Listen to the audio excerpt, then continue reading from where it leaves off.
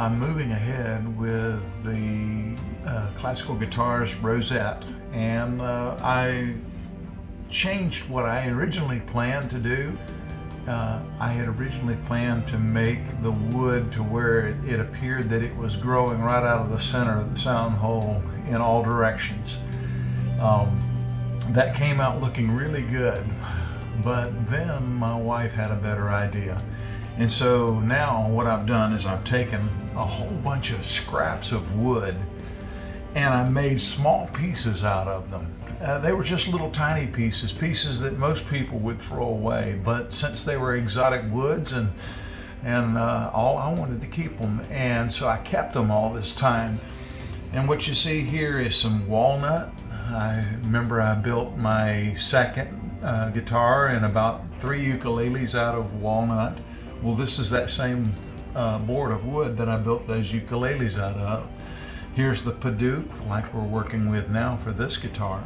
And then there's the African blackwood that was left over from uh, a previous classical guitar build, build that I did. And so I'm putting it all together and we put a piece of, uh, of label uh, upside down on top of my board and then we piece together a whole bunch of these little pieces real tight. Now they're tight, but they're not real tight. And so what I'm about to do now is to go back and sand them and make them to where they fit together real tight. Now that I'm satisfied that everything's tight, I'll go back and I'll glue the pieces together on their sides so that each piece is glued together at the joint that touches the piece next to it, not necessarily to the to the board I'm working on, the work board. I want it to be able to peel off of that whenever I'm done. So I one piece at a time take them off and glue them up.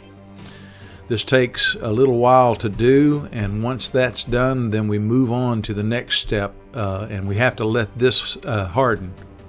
This soundboard is made of western red cedar. And what I've done is I've taken the book match pieces and I've laid them on the table and I'm planing the edge so that it gets good and straight. Once I've satis- I'm satisfied that the joint will uh, pretty much disappear when it's glued, then I glue the joint and I put it in this jig to hold it in place while it is drying.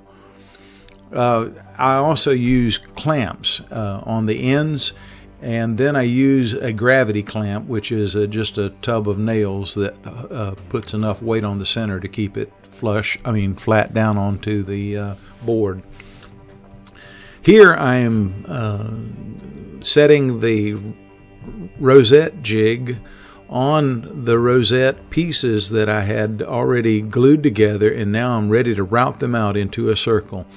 I'm setting the outside radius to 4 and 5 eighths and I'm setting the inside radius to 3 and 5 eighths.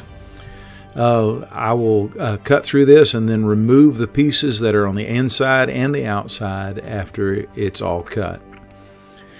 Then the next step is I go to the soundboard itself after it is hardened and we uh, cut the circles, the relief for it so we're cutting a, a, width the same as what we had already done, and uh, to give ourselves that space for that rosette to go into, to recess down into the soundboard. And this is a matter of getting the outside line and then uh, uh, by increments making it smaller each with each cut. And uh, once this is completed, then everything should be able to fit down it. Now I did make it just a little bit wider because I wanted to use some purfling around the outside edge of the rosette whenever I put it in, just to give it a little bit of decoration. So uh, in all, this uh, the width is about an eighth of an inch wider in all directions. So that helps me for whenever I lay that uh, uh, purfling around the rosette. This is an easy task. It's just, just a matter of setting it up and then uh, running your Dremel. And uh, once the Dremel is set, then it's going to cut that depth all the way across. So it's not a problem, not hard to do at all. But this is a handy tool if you ever get to, to looking at tools that are good for this kind of work. This is one of them. Well, once it's all done, then we'll take it and we'll set the rosette in it, and then we'll add the purfling around it. And once we're done, it looks very similar to this.